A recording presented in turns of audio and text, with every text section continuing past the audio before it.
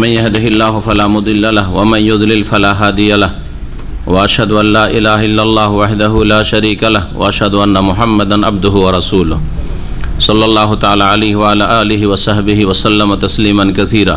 اما بعد فاعوذ بالله من الشيطان الرجيم. بسم الله الرحمن الرحيم. يسالونك عن الانفال قل الانفال لله والرسول. فاتقوا الله واصلحوا ذات بينكم. واتقوا الله ورسوله ان كنتم مؤمنين. ইন্নামাল মোমেনুন আল্লাদিন ইদা জকির আল্লাহ ওয়াজিলাত কুলুবহুম ওয়াইদা তুলিয়াত আলহিম আয়াতুহু জাদাত হুম ইমানা ওয়ালা রব্বিহিম ইয়াতাওয়াক্কালুন মহান আল্লাহর সমস্ত প্রশংসা জাল্লা ফাকরবুল আলমিন কোরআনে করিম নাজিল করেছেন, যার মাধ্যমে মমিনদের অন্তর্কি আল্লাহ ফাকরবুল আলমিন আরও আলোকিত করেছেন, তাদের ইমানকে বৃদ্ধি করেছেন, আর কাফেরদেরকে আল্লাহ ফাকরবুল আলমিন কোরআনে করিম নাজিল করি তাদেরকে হেদায়ত করতে চেয়েছেন, কিন্তু তারা যখন তাদের থেকে হেদায়ত গ্রহণ করেনি, আল্লাহ পাক কোরআনে করিম দিয়ে তাদেরকে লাঞ্ছিত, অপদস্থ করেছেন। আল্লাহ পাকের হজ্জত কায়েম করেছেন তিনি, যাতে করে কিয়ামতের দিনে আর ওজোর পেশ করার, অজুহাত পেশ করার কোনো অবকাশ না থাকে। আমাদের তফসির শুরু হবে সুরাতুল আনফাল থেকে। সুরাতুল আনফাল নবী করিম সাল্লামের মদিনার জীবনে বদর যুদ্ধের সময় নাজল হয়েছে, দ্বিতীয় হিজড়িতে। বদর যুদ্ধ যেই সময় ঘটেছিল, আর বদর যুদ্ধের কথাই বিশেষভাবে এই সুরার আসল বিষয়বস্তু। এই সুরার নামকরণ হচ্ছে আনফাল নাফলুনের বহু বচন নাফল থেকে আমরা নফল নামাজ বলি। নফল সাদকা, নফল রোজা, নফল, এই যে নফল শব্দটি বলে থাকি। তো নফল কোন অর্থে বলে থাকি আমরা? নফল মানে অতিরিক্ত। কিসের অতিরিক্ত? হ্যাঁ ফরজের ওপর অতিরিক্ত। ফরজের, ফরজ নয়, অতিরিক্ত। ফরজ নয়, কিন্তু অতিরিক্ত। একে নফল বলা হয়। এবাদতের ক্ষেত্রে এমন অতিরিক্ত এবাদত যেটা শরীয়তে যার অনুমতি আছে। এমন না যে অনুমতি নেই। আবার অতিরিক্ত যদি হয়, শরীয়তে অনুমতি নেই। নবী সাল্লা সাল এই রকমের নফল এবাদত বন্দী করেননি। তাহলে সেটা বেদাত। ধর্মের নামে নতুন কাজ করা যা নবী করিম সাল্লাম করেননি।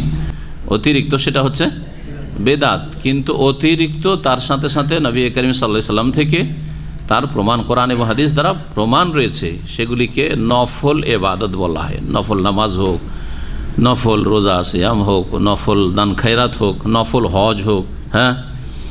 নফল কাজকর্ম, পরোপকারিতা। অনেক সময় জরুরি নয়, উপকার করার জন্য মেলা লোক আছে, তার মধ্যে আপনি বেরিয়ে পড়লেন। নফল কাজ করলেন। নফল নফল মানে হচ্ছে অতিরিক্ত। তো এখানে সুরাতুল আনফালকে আনফাল? নাফলনের বহু বচন আনফাল কেন বলা হয়েছে? এই সুরার প্রথম আয়াতে আনফাল শব্দটি উল্লেখিত হয়েছে যে আনফাল সম্পর্কে নবী করিম সাল্লামের সাহাবিগণ জিজ্ঞেস করেছিলেন যে আর রাসুল আল্লাহ এই আনফালের হুকুম কি? তো এই আনফাল মানে কি? তাহলে আনফালের হুকুম। আনফাল এখানে গানিমাতের ধন সম্পদকে বোঝানো হয়েছে। অর্থাৎ যুদ্ধলব্ধ বা যুদ্ধে যেসব সম্পদ হাসিল হয়, কাফেরদের যুদ্ধের পরে বা যুদ্ধের সময় যখন কাফেররা পরাজিত হয় আর তাদের ধন সম্পদ ছেড়ে পালায়ন করে। যেই ধন সম্পদ জেহাদের পরে হাসিল হয়, জেহাদের ময়দান থেকে কাফেরদের ধন সম্পদ। সেটা হচ্ছে আনফাল বা সেটা হচ্ছে গানায়েম বহুবচন, গানিমতের হ্যাঁ গানিমত। এর তাহলে একটা নাম হচ্ছে গানিমত। যে গানিমতের কথা এই সুরারি যে দশম পারা শুরু হচ্ছে তাতে আল্লাহ পাকুল্লেখ আলাম আন্নামা গানিম তুম মিন ইন এখানে গানিমাত শব্দটি উল্লেখিত হয়েছে। তখন গানিমাতের ভাগ বন্টন কে কে পাবে, কারা পাবে, কাদের জন্য আল্লাহ পাক এগুলিকে করেছেন কোন খাতে বন্টন করতে হবে, ওখানে বর্ণনা করা হয়েছে। এখানে ওই গানিমাতকে আনফাল বলে আখ্যায়িত করা হয়েছে। তো আনফাল কেন বলা হলো গানিমাতকে? এই জন্য বলা হয়েছে যে, দুটি কারণ উল্লেখ করা হয়েছে। একটি হচ্ছে যে এই উম্মতকে আল্লাহ পাক রব্বুল আলমিন এই গানিমাতের ধন সম্পদ অতিরিক্ত দিয়েছেন, যা অন্য উম্মতকে দেন নেই। এটা হচ্ছে একটি কারণ। যেমন নবী সাল্লামের হাদিসে রয়েছে হ্যাঁ সহি বুখারি সহি মুসলিমের হাদিসে রয়েছে যে অতি তো খামসামলাম ইউ তাহন্না আহাদুন কাবলি আমাকে পাঁচটি জিনিস দেওয়া হয়েছে যা এর পূর্বে কোনো নবীকে বা কোনো উম্মতকে দেওয়া হয়নি। তার একটি হচ্ছে, অহিল্লাত লিয়াল গানায়মু আমার জন্য গানিমাতের ধন সম্পদ যুদ্ধলব্ধ সম্পদকে হালাল করা হয়েছে আগের ওম্মতের যে নবী রসুলগণ জিহাদ করেছেন বা ওম্মতেরা জিহাদ করেছে কাফেরদের বিরুদ্ধে যে ধন সম্পদ হাসিল করেছে তারা, সেটা পাহাড়ে রেখে দিতে হয়েছে। তারপরে যদি তাদের এই জেহাদ আল্লাহ পাক কবুল করে থাকেন, এতে যদি তারা বেমানি আত্মসাত না করে থাকে সেই গানিমাতের ধন সম্পদ, তাহলে আসমান থেকে আগুন এসে জ্বলে যাবে। তার মানে আল্লাহ পাক সাদরে গ্রহণ করেছেন। আর যদি না হয়, তাহলে তাদের এই জেহাদ আর তাদের এই গানিমত এই কবুল হয়নি। কিন্তু নবী করিমসাল্লামের জন্য, তার উম্মতের জন্য গানিমতের ধন সম্পদকে হালাল করা হয়েছে পাক পবিত্র মুজাহিদিনদের জন্য। তাহলে অতিরিক্ত এই উম্মতকে দেওয়া হয়েছে, এটা একটা অর্থ। এই অর্থে গানিমাতকে আনফাল বলা হয়েছে, অতিরিক্ত এই উম্মতের হ্যাঁ বোনাস অন্য উম্মতকে দেওয়া হয়নি। আর একটি কারণ হচ্ছে গানিমাতকে আনফাল বলার, সেটা হচ্ছে যে আল্লাহ পাক রব্বুল আলমিন মুজাহিদিনদেরকে, যারা সত্যিকার অর্থে জেহাদ করবে আল্লাহর কালেমাকে উঁচা করার জন্য আল্লাহর জমিনে, তাদেরকে আল্লাহ পাক আখেরাতে মহাপুরস্কার দেবেন, এই ওয়াদা করেছেন। তাদের সাথে আল্লাহ পাক ব্যবসার চুক্তি করেছেন। এই আয়াত সুরায় তবাতে গেছে ইন্নআল্লাহ মেনিনা জান্না জান্নাতের বিনিময়ে তাদের জান এবং মাল খরিদ করে নিয়েছেন আল্লাহ ফাকরবুল্লা আলম ঠিক না? তো কি দেবেন আল্লাহ পাক তাহলে? জেহাদের পুরস্কার? জান্নাত, যেটা হচ্ছে সমস্ত এবাদত বন্দীগীর লক্ষ্য উদ্দেশ্য। সব কিছু লক্ষ্য উদ্দেশ্য জান্নাতে পৌঁছা, জাহান্নাম থেকে বাঁচা। সেটা হচ্ছে আসল পুরস্কার। এই আসল পুরস্কারের সাথে সাথে অতিরিক্ত পুরস্কার দুনিয়াতে পার্থিব জগতে হচ্ছে মুজাহিদিনদের জন্য এই গানিমতের ধন সম্পদ। এই অর্থে গানিমতকে কি বলা হয়েছে? আনফাল বলা হয়েছে। এটা আখেরাতের জান্নাতের ওপর দুনিয়ার অতিরিক্ত বোনাস মুজাহিদিনদের জন্য, যারা জেহাদ ফি সাবিল্লা করবে। তো আল্লাহ পাক রব্বুল আলমিন এখানে এরশাদ করেছেন ইয়াস আলু নাকাদি যে লোকেরা আপনাকে জিজ্ঞেস করছে। সাহাবাই কিরমদের মাঝে যখন বদর যুদ্ধ সংগঠিত হইল, আর তাতে বিজয়ী লাভ করলেন মমিনগণ নবী সাথে, গানিমাতের ধন সম্পদ পাওয়া গেল। এগুলি কে নেবে? কে পাবে? সবাই মনে করে যে আমি বেশি কাজ করেছি তো আমি বেশি পাবো, তো কে পাবে? কে কতটা পাবে? কল্পনা জল্পনা তো হবেই, তাই না? মানুষ হিসাবে কল্পনা জল্পনা যে যে এইগুলো যে কার কাছে যাবে, কে যে পাবে, ইত্যাদি তো হবেই। তো লোকেরা আপোষে আলাপ আলোচনা করছে, জিজ্ঞাসাবাদ, বা নবী সাল্লামকে জিজ্ঞাসা করছে। এর জবাবে আল্লাহ বলছেন, দেখো, এতে তোমাদের কল্পনা জল্পনা করার কোনো প্রয়োজন নেই। এই ক্ষেত্রে চূড়ান্ত ফয়সালা করবেন স্বয়ং আল্লাহ রব্বুল আলমিন এবং যেহেতু আল্লাহ পাক বিধান নাজেল করেন একমাত্র নবী মোহাম্মদ রসুল্লাহ সাল্লামের ওপর সুতরাং মোহাম্মদ রসুল্লাহ সাল্লাম ফয়সালা দেবেন, যেই ফয়সালা আল্লাহ পাক দেবেন, তার রসুল দেবেন, সেটাই হচ্ছে ফয়সালা। যে কে পাবে? এখন এই ফয়সালা এখানে উল্লেখ করা হয়নি। এখানে শুধু এতটুকু বলা হয়েছে যে তোমাদের কল্পনা করার কোনো প্রয়োজন নেই, কে পাবে, না পাবে, এসব তোমাদের সিদ্ধান্ত নেওয়ার কোনো প্রয়োজন নেই। এই সিদ্ধান্ত আল্লাহর হাতে এবং তার রসুল সাল্লাহ সাল্লামের মাধ্যমে। ইয়াস আলুনাকে আনিল আনফাল। হে নবী, তোমাকে জিজ্ঞেস করে, আল্লাহ পাক বলছে, তোমাকে জিজ্ঞেস করে লোকেরা বা জিজ্ঞেস করছে লোকেরা মানে সাহাবিগণ, আনিল আনফাল গানিমাতের ধন সম্পদ সম্পর্কে, যুদ্ধলব্ধ সম্পদ সম্পর্কে। কুল, হে নবী, তুমি বলে দাও, আল আনফাল লিল্লাহ ওয়ার রসুল। গানিমাতের ধন সম্পদ আল্লাহর জন্য এবং তার রসুলের জন্য। মানে এর মালিক কে? আল্লাহ এবং তার রসুল সাল্লাহ সাল্লাম। ফায়সালা করবেন আল্লাহ ফকরবুল আল ওয়াহির মাধ্যমে, কোরআন কেরিমে, অথবা রসুল্লাহ সাল্লামের হাদিসে যেটা ওয়াহি। আল্লাহ পাকে ফয়সালা করবেন। যেই ফয়সালা করে দেবেন রসুল্লাহ সাল্লামের মাধ্যমে সেই ফয়সালা তোমাদেরকে মেনে নিতে হবে। লিল্লাহ আলী রসুল। লিল্লাহ আলী রসুল মানে এই না যে আল্লাহ নেবেন আর রসুল নেবেন, আর কেউ পাবে না তোমরা। এটা অর্থ নয় আর কি। মানে ফায়াসালা করবেন আল্লাহ পাক এবং তার রসুল সাল্লাম কারণ বিধান দাতা সারে আল্লাহ পাক রব্বুল আলমিন। আর বিধানের প্রচারক, বাহক হ্যাঁ? রসুল্লাহ সাল্লাম সুতরাং সিদ্ধান্ত আল্লাহ এবং রসুলের। ফত্তাকুল্লাহ। এখানে তিনটি নির্দেশ দেওয়া হয়েছে। মমিনদেরকে। আর এমন মমিন যারা সবচেয়ে শ্রেষ্ঠ মমিন রসুল্লাহ সাল্লাহ সাল্লামের সাথী সঙ্গীদের মধ্যে সাহবাইকরামদের মধ্যে, যারা বদরের যুদ্ধে হাজির হয়েছেন, তাদেরকেও তিনটি নির্দেশ দিয়েছেন। যেই তিনটি নির্দেশ অত্যন্ত গুরুত্ব রাখে জেহাদের ময়দানে। বিশেষ করে আর প্রত্যেক মুসলিমের দৈনন্দিন জীবনেও। ফত্তাকুল্লাহ, প্রথম হুকুম হচ্ছে আল্লাহ পাকের। আল্লাহকে ভয় করো। সুতরাং কি করো? আল্লাহ এবং রসুলের হাতে যখন চূড়ান্ত ফয়সালা, গানিমাতের ধন সম্পদ ভাগ বন্টনের তোমরা কি করো? আল্লাহকে ভয় করো।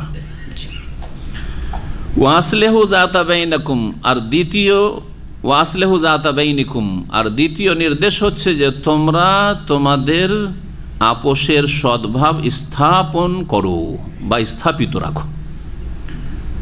তোমাদের মাঝে সদ্ভাবকে কি করো? স্থাপিত রাখো। হ্যাঁ? মজবুত রাখো। ও আসলেহু যাতাবে আপোষে যাতে করে তোমাদের মাঝে মনোমালিন্য, কলহ, বিবাদ সৃষ্টি না হয়। জেহাদের ময়দান গানিমা ধন সম্পদ পাওয়া গেছে, এই নিয়ে আপোষে কলহ শুরু হয়ে গেছে। এটা যেন মোটেই না হয়। আপোষে, আমি কম পেলাম, সে বেশি পেয়ে গেল। যদি শুরু হয়, তাহলে কি হবে? কলহ শুরু হবে না হবে না? এইরকমটা করিও না, তাহলে এখানে বলা হয়েছে। আর এইরকমই যাতে সম্পর্কের অবনতি ঘটে, যে কোনো ক্ষেত্রে আসলে হুজায় তবে এমন কিছু করিও না যাতে তোমাদের আপোষের সম্পর্কের অবনতি ঘটে, সম্পর্ক খারাপ হয়ে যায়। আগের নির্দেশ কি ছিল? আল্লাহকে ভয় কর। আল্লাহকে ভয় করলে হবে কি? কেউ চুরিয়ে রেখে দিবে না। যে আমি এটা পেয়েছি, কেউ তো দেখতে পাইনি লুকিয়ে আমার ব্যাগে ঢুকিয়ে রেখে দিই করবে? কারণ আল্লাহকে ভয় করা। জি। তাহলে জীবনের প্রতিটি ক্ষেত্রে এই নির্দেশ মোমিন মুসলিমের জন্য, আর বিশেষ করে জেহাদের ময়দানে কেউ যদি তাকওয়া অবলম্বন করে আল্লাহকে ভয় করে, তো একটা সুচ পর্যন্ত রাখবে না।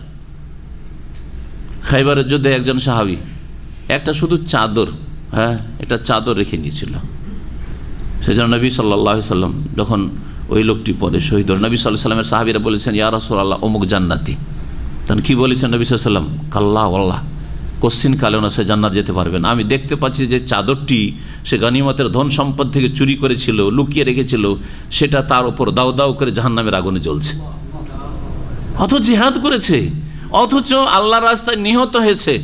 কিন্তু যখন সাহাবিরা বললেন যে সে জান্নাতি, তখন নবী সাল বললেন আমি দেখতে পাচ্ছি যে আগুনে সে জাহান্নামের আগুনে জ্বলছে, তার ওই কম্বলের সাথে বা চাদরের সাথে। আল্লাহকে ভয় করা কত জরুরি জিনিস। তাহলে আপনি যতই এবাদতবন্দি করেন না, যতই আপনার সহি আকিদা হোক, আর যতই আপনি ভালো মানুষ হন না কেন, আখলাক আমলে কিন্তু যদি আপনার রুজিতে হারাম থাকে, তাহলে এই হারাম রুজির কারণে জাহান্নামে যেতে হবে, জাহান্নামে চলতে হবে। বিশেষ করে যেটা জনগণের ধন সম্পদ, সেখানে কিন্তু আরও বেশি অপরাধ বেড়েছে। একজনের মাল চুরি করেছেন, তাহলে আপনার হ্যাঁ বাদী কিয়ামতের দিনে একজন হবে, একজন মালিকের চুরি করেছেন অথবা একজন ব্যক্তির চুরি করেছেন। কিন্তু যখন হ্যাঁ জনগণের সম্পদ হবে, গানিমাতের ধন সম্পদ, জনগণের সম্পদ হ্যাঁ হ্যাঁ বাইতুল মাল, এইরকম রাষ্ট্রীয় সম্পদ হচ্ছে জনগণের সম্পদ, রাষ্ট্রীয় সম্পদ। আপনি ভেঙে ফেলে দিলেন, আগুন লাগিয়ে দিলেন, জ্বালিয়ে দিলেন, সরকারি বাস জ্বালিয়েছে বেসরকারি তো জ্বালেন। বেসরকারি জ্বালালে একজনে জ্বালালেন, আর সরকারি জ্বালালে গোটা দেশের সমস্ত নাগরিকের ওতে ভাগ আছে। নাকি? এগুলো তো আমাদের দেশের মানুষরা বুঝে না। হারিয়ারি নাম আবার অনেকে জিহাদও দেয় হ্যাঁ? যারা দুনিয়ার পেট পূজার রাজনীতি করছে, তারা তো নিজের স্বার্থের জন্য করছে। ওরা জিহাদ জিহাদ বলে না, আর ওটাকে ধর্ম বলে না। ওরা বিধর্মিতার কাজ করছে, ওরা পেটের স্বার্থে আর গদির স্বার্থে করছে। কিন্তু যারা ধর্মের নামে করছে, তারা আবার এটাকে জেহাদের নাম দিচ্ছে। অথচ কেয়ামতের দিনে বাদী সকলে আসবে আপনার বিরুদ্ধে। আমাদের ধন সম্পদ ধ্বংস করেছে, অর্থনীতি ভেঙে পড়েছে দেশের। করবে না? জি হ্যাঁ। নবী করিম সাল্লাম এমনি চুরি করার চাইতে গনিমতের ধন সম্পদ চুরির ক্ষেত্রে শাস্তির কথা বেশি শক্ত করে বলেছেন। কারণ এখানে সকলের হক নষ্ট করা হইল। সকলে সমস্ত মুজাহিদিনের হক নষ্ট করা হইল। জনগণের হকের মতো। তৃতীয় নির্দেশ কি? ওয়াতিউল্লাহ ওয়ারাসুল্লাহ ইনকুন্ত মমিন তোমরা যদি সত্যিকার অর্থে বিশ্বাসী হও ইমানদার হও, তাহলে আল্লাহর আনুগত্য করো আর তার রসুল সাল্লাহ সাল্লামের আনুগত্য করো। আনুগত্য জরুরি যে কোনো ক্ষেত্রে। দুইজন থাকলে দুইজনে যদি বলে আমরা কেউ কাউকে মানি না। ও ওর মতো চলুক, আমি আমার মতো চলবো। শান্তি পাবেন না। কিন্তু যদি মনে করেন যে, আমরা দুজন আছি, তো একজন যেহেতু সিনিয়র সুতরাং তার কথা একটু মানি হ্যাঁ? তার পরামর্শ নিই। তাহলে কিন্তু সুষ্ঠুভাবে পরিচালিত হবে যে কোনো প্রতিষ্ঠান। ঠিক না? স্বামী, স্ত্রী, দুজন ছেলে মেয়ে নেই। হ্যাঁ কেউ কাউকে মানতে চায় না। চলবে? গাড়ি, অচল। হ্যাঁ? এইরকমই কর্মক্ষেত্রে, এইরকমই সফরে সফরে দুইজন সঙ্গে বেরিয়েছেন হজ বা ওমরা করতে। আর দুইজনে মনে করছেন যে আমি কি ওর চাইতে কম? আপনি বলছেন, আমি এই পেট্রোল পাম্পে থামবো। ও বলছে, না, থামবো না, সামনে গিয়ে থামবো, দশ কিলোমিটার যেয়ে থামবো। হ্যাঁ? হ্যাঁ? আপনি বলছেন, না, এই হোটেলে খাব। বলছেন না, এই হোটেল না, আরেক হোটেলে খাব আমি। ঝগড়া শুরু হবে না? শুরু হয়ে যাবে। আনুগত্য জরুরি। আর সবচেয়ে বড় আনুগত্য হচ্ছে নিঃশর্ত। কোনো শর্ত নেই। তা হচ্ছে আল্লাহর আনুগত্য, আল্লাহর কথা মানা এবং তা রসুল সাল্লাহ সাল্লামের আনুগত্য করার ক্ষেত্রে কোনো শর্ত চলবে না যে আমাদের ইমাম সাহেব বলেছে কিনা, আমাদের হুজুররা বলছে কিনা, আমাদের দেশের আলেমালা কি বলছে, আমাদের অমুক কি, মুরব্বী কি বলছে, আমাদের পীর সাহেবের তরি কি আছে? কোনো কিছু দেখা দেখি না। আল্লাহ এবং রসুলের কথা মানতে হবে যখন আপনার কাছে প্রমাণিত হয়ে যাবে, এটাই আল্লাহর কথা, এটাই হচ্ছে রসুল্লাহ সাল্লামের ফায়সালা। মানুষের কথার ক্ষেত্রে শর্ত আছে, সেটা হচ্ছে আল্লাহ এবং রসুলের আনুগত্যের আওতাতেই হইতে হবে। যদি আল্লাহ রসুল নাফারমানি করে, আমি কোনো হুকুম দিই তো মানা আপনার জন্য হ্যাঁ? অজেব নাই না জায়েজ নাই জরুরি নাই বললেন। জরুরি নয় কথাটা ভুল না? আমি যদি আপনাদেরকে কোন একটা এমন হুকুম করি যেটা আল্লাহ রসুলের বিরুদ্ধে শরীয়তের বিপরীত, তাহলে কি করবেন? তাহলে আনুগত্য করা জরুরি নয় না জায়েজ নাই জায়েজ নাই কারণ গোনা হবে? আপনার আপনার বাপ যদি বলে যে এই লোকটা খুব আগে বেড়ে যাচ্ছে, যা তো এর হ্যাঁ এর জমির ফসল টসল রাতে কেটে নিয়ে চলে জায়েজ? গ্রামে গঞ্জে। কারও মুরগি মেরে দিল হ্যাঁ? কারও খাসি মেরে দিল। এই খাসিটা বাড়ি দে জবাই করে দে। জাহেজ জাহেজ নয়। জাহেজ নয়। ওখানে যদি আপনি বাপের কথা মানেন তো আপনি হারাম কাজ করলেন আপনি। আল্লাহকে অসন্তুষ্ট করলেন এবং রসুলের নাফারমানি করলেন আপনি। বাপ, বাপকে মানতে গিয়ে আল্লাহ এবং রসুল নাফারমানি করবেন। তো স্ত্রী যদি বলে যে, তুমি দাঁড়িয়ে রাখিও না। তা আনুগত্য করা জরুরি নয় না? বলেন। স্ত্রীর কথা মানা জরুরি নয়, ঠিক না? নাকি? জায়েজ না, স্ত্রীর কথা মানলে কি হবে? হারাম হবে না জায়েজ হবে? মাকরু হবে? হারাম। জি হ্যাঁ বুঝতে পারছেন তাইলে। বাপের কথা যদি না মানা যায়, একটা অন্যায় কথা বলছে, তো স্ত্রীর কথা কি করে মানা যাবে? বাপ পঁচিশ বছর, তিরিশ বছর মানুষ করে দিল, আর কাজে লাগিয়ে তার স্ত্রী হঠাৎ করে এসে আপনার হুকুম চালাতে শুরু করল, তুমি দাঁড়িয়ে রাখতে পারবে না? তার কথা মানা জরুরি হয়ে গেছে, স্ত্রী আমাকে দাঁড়িয়ে রাখতে দেয় না। কত নির্বোধ মুসলমান আপনি তাহলে? বাপ যে জন্মদাতা তার কথা মানা যাবে না আল্লাহ আর নাফারমানি করে। মা, যে পেটে রেখেছে দশ মাস, তার কথা মানা যাবে না আল্লাহ নাফারমানি করে চলে নাফারমানি করে। মা যদি বলে, চল আমাকে শাহজালাল মাজারে নিয়ে চল ওর ওসে যাব। মানা জরুরি নয়, তাই না? জাহিজই নয়, হারাম। লা তো আতালে মখলুকিন ফি মাসিয়াতিল খালেক। নবী করিম সাল্লাম প্রসিদ্ধ হাদিস, কোন সৃষ্টির আনুগত্য নেই ফি মাসিয়াতিল খালেক, স্রষ্টার বিরুদ্ধাচরণ করে। আল্লাহর নাফরমানি করে কাকেও মানা চলবে না। আলেমকেও মানা চলবে না বাপ মাকেও মানা চলবে না, শাসককেও মানা চলবে না, কাউকে মানা চলবে না। আমি এটা করতে পারব না। ওয়াতি উল্লাহ বা রাসুল আল্লাহর আনুগত্য করো এবং রাসুলের আনুগত্য করো। ইনকুন্তু মমি তোমরা যদি সত্যিকার মমিন হও। জিহাদের ময়দানে যখন আল্লাহ এবং রসুলের আনুগত্য করবেন, তাহলে আর কোনো আপত্তি তুলবেন না। আল্লাহর ফয়সালা যে অমুক এইরকম পাবে। রসুল্লাহ এইভাবে বিচার করে দিয়েছেন, একে এত দিয়েছেন, ওকে এত দিয়েছেন, ওকে এত দিয়েছেন। হ্যাঁ কাউকে ছাগল দিলেন, আমাকে ছাগল দিলেন, ওকে কেন ওট দিলেন? এটা আর বলার আপনার ইখতিয়ার নেই, কারণ আতিউল্লাহ রাসুল আল্লাহ রাসুলের আনুগত্য করতে বাধ্য তুমি। ফরোজ, আল্লাহর আনুগত্য, আল্লাহর কথা মানা এবং রাসুলের কথা মানা বা ফয়সালা মানা। জি। তারপরে আল্লাহ পাকের সাদ করছেন যে সত্যিকার মমিন কার? এই যে মমিন বলা হয়, যদি তোমরা মমিন হও, তাহলে তোমাদের মধ্যে এই গুণগুলি থাকবে। আল্লাহ রসুলের আনুগত্য করবে, আপোষের সম্পর্ককে উন্নত করার চেষ্টা করবে এবং আল্লাহকে ভয় করবে, তাই না? তিনটি গুণ বলা হলো না? তারপরে বলছে তাহলে মমিন কারা? মমিনদের কিছু গুণ শুনেন, বলছে, ইন্নামাল আল্লাদিন এজাজকের আল্লাহ নিঃসন্দেহে মমিন সত্যিকার অর্থে ওইসব লোকেরা এজাজকের আল্লাহ যাদের সামনে আল্লাহর কথা আলোচিত হলে জোকের আল্লাহ মানে আল্লাহর কথা আলোচনা করা হইলে, এটা হচ্ছে ব্যাপক অর্থ। এটা হচ্ছে ব্যাপক অর্থ। জোকেরা মানে আলোচনা করা জোকেরা মানে শুধু সুবাহান আল্লাহ পড়া নয়। যেটাকে আমাদের দেশের লোকেরা শুধু জিকির বলে। জিকির মানে উল্লেখ করা, জিকির মানে আলোচনা করা, জিকির মানে স্মরণ করা। বুঝা গেছে? যেহেতু জোকের আল্লাহর কথা আলোচিত হলে, আল্লাহর কথা উল্লেখ করা হইলে, আল্লাহর কথা মানে আল্লাহর সত্তার কথা, আল্লাহর গুণাবলীর কথা, আল্লাহ পাকের রবুবিয়তের কথা, আল্লাহ পাকের রৌলিহাত ইবাদতবন্দির কথা, আল্লাহ পাকের আদেশ নিষেধের কথা হ্যাঁ? আল্লাহ পাকের সন্তুষ্টির কথা, আল্লাহ পাকের ভালোবাসার কথা আল্লাহ পাক রব্বুল আলমিনের দিনের বিধিবিধানের কথা সবগুলিকে সামিল। জকির আল্লাহ, তাই না? তো আল্লাহর কথা আলোচিত হওয়া মানে এতগুলি সবকে সামিল। আল্লাহ সম্পর্কে আলোচনা করা, আল্লাহ রসুল সম্পর্কে আলোচনা, কি জন্য করছি? আল্লাহর আলোচনার জন্য, তাই না? আল্লাহর এবাদতটা ঠিকভাবে জানতে পারব, রসুলের মাধ্যমে জানতে পারব সেই জন্য রসুলের জীবনে আলোচনা করছি। তো ওইটা হচ্ছে আল্লাহ সম্পর্কে আলোচনা করা। আল্লাহর দিনের মাসলা মাসাইল হ্যাঁ নামাজের তরিকা, রোজা জাকাত হজ হালাল, হারাম, জায়েজ, না জায়েজ হ্যাঁ? আলোচনা। আল্লাহর আলোচনা নয়? কি দুনিয়ার আলোচনা নাকি? সবকে সামিল।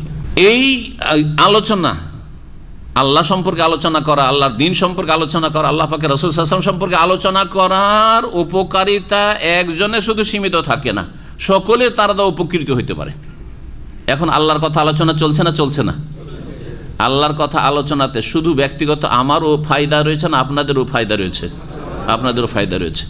কিন্তু এখন এক ঘণ্টা ধরে আমি আলোচনা না করে শুধু যদি সুবহান আল্লাহ সুবহান আল্লাহ করি, আলহামদুলিল্লাহ বলি, আল্লাহ আকবর করি লাহিল্লাহ বলি আল্লাহ কতা ইল্লা বিল্লাহ পড়ি আরও বহু তসবি তাহলিল রয়েছে যদি করতে থাকি আসর পর্যন্ত। তো আমার ফায়দা হবে না হবে না? আমার ফায়দা হবে। আপনাদের ফায়দা হবে? আপনাদের আমার জিকির দিয়ে আপনার ফায়দা হবে না। ঠিক না? এটাও আল্লাহর স্মরণ করা, কিন্তু দুই স্মরণের পার্থক্যটা বুঝতে পারলেন। তাহলে কোন স্মরণটা, কোন আলোচনাটা বেশি গুরুত্ব রাখে এখন বুঝুন তাই না আর কোনটা ব্যাপক অর্থে আল্লাহ পাকের জিকির? আল্লাহ পাকের জিকির মানে শুধু নির্জনতা অবলম্বন করে আপনি জিকির করছেন। আর জাতি জাহান্নামের পথে চলে যাচ্ছে। জাতি শির্ক, বিদাতের আকিদা রাখে। জাতি বেনমাজি, বেদিন হয়ে যাচ্ছে। আপনার দুনিয়া সম্পর্কে খবর নাই। এই জিকির আল্লাহ করতে বলেন নাই। এই জিকির নাই। মুস্তাহাব জিকির নিয়ে পড়ে আছেন আর ফরজ জিকির না। ইসলাম শিখা ফরজ। দিনের জ্ঞান অর্জন করা ফরজ। জ্ঞান দিচ্ছেন না আপনি আলেমে দিন একজন। হ্যাঁ? আর আপনি নির্জনে বলছেন যে আমি এখন বসেছি বা আমার হুজুর এখন মোরাকাবাতে বসছে। তা আপনার মোরাকাবাদে আপনার ফায়দা, তাও সুন্নতি তরিকা হইলে ফায়দা। বেদাতি তরিকা হলে আপনারও ফায়দা নেই। কারণ নবীর আদর্শ না আপনি। বুঝে গেছে? তো এখানে জোকের আল্লাহ মানে কি? আল্লাহর কথা আলোচিত হইলে, আল্লাহর কথা যদি উল্লেখ করা হয়, সে আল্লাহ পাকের তৌহিদ সম্পর্কে হোক, জাত, সিফাত সম্পর্কে হোক, আল্লাহ পাকের সম্পর্কে যেসব আকিদা রয়েছে, সেগুলি সম্পর্কে হোক, ধর্মীয় বিশ্বাস, অথবা আল্লাহ পাকের এবাদত বন্দী সম্পর্কে হোক, আল্লাহ পাকের দিনের মাসলা মাসাইল সম্পর্কে হোক হ্যাঁ হালাল হারাম সম্পর্কে হোক, এজা জকির আল্লাহ, দিনের কথা আলোচনা হইলি, আল্লাহর কথা আলোচনা হইলি, মমিনের অবস্থা কেমন হয় শুনুন। এই অবস্থাগুলি আপনার মধ্যে আসতে হবে। এইরকম যেন আপনার অন্তরের অবস্থা হয়, আপনার ইমান আমলের অবস্থা হয়, আপনার কাজকর্মের অবস্থা হয়। ওয়াজেলাত কলু বহম তাদের অন্তর কেঁপে উঠে। আল্লাহর কথা আলোচনা করা হইলে তাদের অন্তর কেঁপে উঠে। আল্লাহ পাকে দিনের কথা বলা হচ্ছে, আল্লাহর দিন থেকে কত দূরে আমি সরে গেছি। আল্লাহ পাকের যে সেরাতে মোস্তাকিমের কথা আলোচনা করা হচ্ছে, এই সরল পথ থেকে, জান্নাতের পথ থেকে আমি ডানে বামে কোথায় গাড়ি নামিয়ে দিয়েছি আমি? জান্নাতের পথে নামিয়ে দিয়েছি। তাহলে ওয়াজিলাত কলুব অন্তর কেঁপে উঠবে আল্লাহ পাকের ভয়ে। যে এই অবস্থায় যদি আমার মত চলে আসে, এই পাপের অবস্থায়, তাহলে আমি কোথায় যাব? আমি তো জান্নাতে যেতে পারব না, আমার গাড়ি তো জান্নাতে যাবে না, এই লাইফের গাড়ি। তো জান্নাতে চলে যাবে। অজেলাত কলুবহুম এইরকম আল্লাহ পাকের গুণাবলীর মধ্যে আল্লাহ পাকের কুদরতের কথা, আল্লাহ পাকের আলেমুল গাইব হওয়ার কথা আপনার বাপ জানতে পারেন না, মা জানতে পারেন আপনার স্ত্রী পর্যন্ত জানতে পারেন আপনি চরিত্রহীন হ্যাঁ? আপনি এইরকম লুকিয়ে লুকিয়ে প্রেম করছেন, কেউ জানতে পারে না। কিন্তু আল্লাহ পাক তো জানছেন, আলমুল গাইব। তাহলে যখন আল্লাহর কথা আলোচনা করা হবে, আল্লাহ পাকে ইলমে গাইবের কথা আলোচনা করা হবে জেলাত কলুব হোম অন্তর ভয়ে কেঁপে উঠবে যে আল্লাহ, তোমার উপর তো লুকিয়ে রাখা যান আমি কি করেছি? সুতরাং ফিরে আসবে আল্লাহর দিকে। তবা করবে, সংশোধন করবে অজেলাত কলুবম এই নয় যে শুধু আপনি কোরআন তেলাওয়াত করছেন আর সুরটা সুন্দর সুন্দর শুনতে ভালো লাগছে, তখন চোখে একটু পানি চলে আসলো সুর শুনে, এটা বোঝানো হয়নি। এতে এমন কোন ফায়দা হলো যে সুর শুনে আপনাকে শুধু চোখে পানি আসলো? অনেকের হয় এরকম। ভালো কারি সাহেব তেলাওয়াত করছে, আর এত মধুর সুরে আলো তেলাওয়াত করল যাতে চোখে পানি চলে আসলো। সাময়িক চোখের পানি। কিন্তু আপনার লাইফটা পরিবর্তন করবে না। আপনার জীবনে ইমানই উন্নতি আসবে না। আপনার আল্লাহর ভয় ভীতি পয়দা হবে না। আখের জান্নাতমুখী আপনি হইতে পারবেন না। কিন্তু সত্যিকার অর্থে আল্লাহর দিন বুঝে, আল্লাহ পাকের গুণাবলী বুঝে এবং আল্লাহ পাক রব্বুল আলমিনের রসুল সাল্লাহ সাল্লামের জীবনী, আদর্শ সম্পর্কে বুঝে তারপরে নিজের সংশোধন করা যে আমাকে এই সরল পথে, এহদেন আসরাত আল মোস্তাক, এই পথেই থাকতে হবে। আমি কি এই পথের উপর আছি? অজেলাত হলুব হোম অন্তর কেঁপে ওঠে মমিন হলে। ওয়াইদা তলিয়াত আলাইহিম আয়াতহু জাদাতহুম ইমানা আর যখন তাদের সামনে আল্লাহর আয়াতগুলি পাঠ করা হয় বা পঠিত হয় জাদাথুম ইমানা তখন তাদের ইমান ওই আয়াতগুলি বৃদ্ধি করে দেই। জাদাথুম এর ফাইল কর্তা হচ্ছে আয়াতগুলি। আয়াতগুলি কি করে? তাদের ইমানকে বৃদ্ধি করে। ইমান বৃদ্ধি হয়, আল্লাহ পাকের আয়াত শুনলে সাহাবাই কারণ আয়াতগুলি অর্থ বুঝে শুনতেন না, এমনি শুনতেন। অর্থ বুঝে। সুতরাং সবসময় চেষ্টা করতে হবে যথাসাধ্য। অনারবদেরকে, আরবিদের জন্য প্রথম ফরজ। অনেক সময় শুদ্ধ ভাষা, কোরআনের ভাষা আরবি বুঝে না। তাহলে আরও হতভাগা, তার তো, তার জন্য তো সহজ। একটু ভাষা জ্ঞানটা এগিয়ে নিয়ে গেলেই তো, বা একটু কোরআন চর্চা করলেই তো কোরআনে কেরিম বুঝতে পারে। মাতৃভাষায় কোরআনে কেরিম নাজিল হয়েছে, যদিও চোদ্দোশো বছর এতে ব্যবধানে বা এই সময়টাই ভাষার কিছু পার্থক্য হয়ে গেছে। তারা মাতৃভাষা বলে বুঝে, কিন্তু কোরআনের ভাষা, শুদ্ধ ভাষা অনেকটা, অনেক অনেক শব্দই বুঝে না বা অনেক বাক্য বুঝে না। বোঝার চেষ্টা করলে তাদের জন্য অনেক সহজ, ঠিক না? একজন অনারবের জন্য অনেক কষ্ট কোরআন বোঝা। কিন্তু তাকেও যথাসাধ্য কি করতে হবে? আল্লাহ পাকের সম্বোধন, আল্লাহ পাক অ্যাড্রেস বোঝার চেষ্টা করতে আল্লাহ পাক কী বলছেন? বোঝার চেষ্টা করতে হবে, কারণ এটাই হচ্ছে রসুল্লাহ সাল্লাম সাহাবাইকার আদর্শ যে না বুঝে শুধু কোরআন তারা শুনতেন না না বুঝে শুধু কোরআন মুখস্থ করতেন না না বুঝে তারা কোরআন তেলাওত করতেন না, কোরআনের কারি হইতেন না। তো যখন কোরআন তেলাওত করা হয়, তখন কি হয়? তাদের ইমান এই কোরআন করিমের আয়াত বৃদ্ধি করে। তাহলে বোঝা গেল এ আয়াত দ্বারা যে ইমান কি হয়? হ্যাঁ? ভালো কাজ করলে কোরআন তেলাওত করা। বা কোরআন তেলাওয়াত শোনা, কোরআনের অর্থ শোনা, কোরআনের তাফসির শোনা, ভালো কাজ না মন্দ কাজ? ভালো কাজ করলে ইমান বৃদ্ধি হয়, এটা বোঝা গেল। যখন ভালো কাজ করলে ইমান বৃদ্ধি হয়, তাহলে এর বিপরীত কেউ যদি মন্দ কথা কাজে লিপ্ত হয়, তো ইমান কম হয়। এটা হচ্ছে আহলে সুনতল জামাতের আকিদা। আল ইমান ইয়াজিদ ওয়ান কসু ইমান কমে এবং বাড়ে। ইয়াজিদ বিত্তা ওয়ান কসু বিল মাসিয়া। নেকির কাজ করলে ইমান বাড়ে আর গোনহার কাজ করলে ইমান কমে। মানুষ যখন গোনা করতে থাকে, অন্তরে একটা করে কালো দাগ পড়তে থাকে, নবী সালাম হাদিস রয়েছে নোকে তাত নোকতাতন সৌদা একটি করে কালো দাগ হইতে হইতে হইতে গোটা তার হৃদয়টাকে, অন্তরটাকে এই কালো দাগ, পাপের এই কালো দাগে এমন করে ঘিরে ফেলে, যাকে আল্লাহ কোরআনের ভাষায় মরিচা বলেছেন, কাল্লা রানা আলা কুলু বেহিম মা কানু ইয়াকসেবুন। তাদের কৃতকর্মের কারণে তাদের হৃদয়ের ওপর, অন্তরের ওপর কি হয়ে গেছে? রান, জং মরিচা লেগে গেছে। এই মরিচা ছুটাইতে হবে কি দিয়ে? তবা ইস্তেকফার দিয়ে। তবা ইস্তেকফার দিয়ে নবী করিম সাল্লাহ আলি সাল্লাম দিনে একশো বার করে তবা ইস্তেকফার পড়তেন। অথচ তার গোনা নেই। অথচ তার আগের পরের ভুল ভ্রান্তির ক্ষমার অগ্রিম ঘোষণা আল্লাহর পক্ষ থেকে। তাহলে আপনার কতটা তবা ইস্তেকফার দিনে করছেন আর কতটা আল্লাহ অভিমুখী আপনি আপনি আপনার অবস্থা যাচাই করুন। আল্লাহ পাক যেন আমাদের ইমান বৃদ্ধি করেন, গুনার কথা কাজ থেকে বেঁচে থাকার তৌফিক দান করেন। আর তিন নম্বর গুণ হচ্ছে, ওয়ালা রব্বিহিম এতবাক্কালুন সত্যিকার মমিন, ওরা যারা তাদের প্রতিপালকের ওপর হ্যাঁ আস্থা ভরসা রাখে। কাজ করে রেজাল্ট, পরিণতিটা আল্লাহর জন্য ছেড়ে দাও। আল্লাহ, আমি আমার কাজ করলাম, এখন তুমি তোমার কাজ করো। যে কোনো ক্ষেত্রে। চাকরি করেন, ডিউটি করেন, ডিউটি করে আল্লাহ, তুমি আমার রুজিতে বরকত দাও। ডিউটি যাবেন না বলে আল্লাহ রুজিতে বরকত দাও, হবে? নবী সাল্লাম বদরের যুদ্ধে, বদরের যুদ্ধেরই আলোচনা শুরু হয়েছে, তাই না? বদরের যুদ্ধের না আগে মসজিদে নবীতে তো দোয়া করতে পারতেন। যদি এটা ইসলাম হইতো ইসলাম সমর্থন করত যে কাজকর্ম না করেই শুধু আল্লাহকে পাওয়া, জান্নাত পাওয়া, কাজকর্ম না করেই শুধু বিজয় লাভ করা হ্যাঁ? মেহনত, পরিশ্রম না করেই শুধু সাকসেস হওয়া এটার অবকাশ যদি থাকতো, তাহলে নবী সাল্লাম মসজিদে নবীতে বসে যেতেন। তখন মক্কা বিজয় হয়নি, মসজিদে নবীতে বসে যেতেন। আর বসে গিয়ে ওখানে আল্লাহর কাছে দোয়া করতেন। বদর প্রান্তে গিয়ে কেন দোয়া করছেন? মসজিদ নবীতে দুই রেখাত নামাজের হাজার গুণ, হাজার গুণের ফজিলত ছেড়ে বদরে গিয়ে হ্যাঁ একশো সত্তর কিলোমিটার দূরে গিয়ে ওখানে করে গিয়ে তিনি দোয়া করছেন। এত দোয়া করছেন, এত দোয়া করছেন যে শরীর থেকে চাদর পড়ে যাচ্ছে ওনার খবরই নেই। খবর নেই যে গায়ের চাদর পড়ে গেছে। অবাকা সিদ্দিক রাজি চাদরটা উঠিয়ে দিয়ে বলছেন যে কাফা কা মোনা সাদা তো কারাব্বাকা ইয়া রাসুল আল্লাহ হে আল্লাহ রসুল, আপনি আল্লাহর কাছে যে এইভাবে যাত্রা করেছেন, চেয়েছেন একগ্র চিত্তে এইটা যথেষ্ট হয়ে গেছে। যথেষ্ট হয়ে গেছে। আল্লাহ আপনার দোয়া কবুল করেছেন। আপনার দোয়া কবুল করেছেন নিশ্চিত।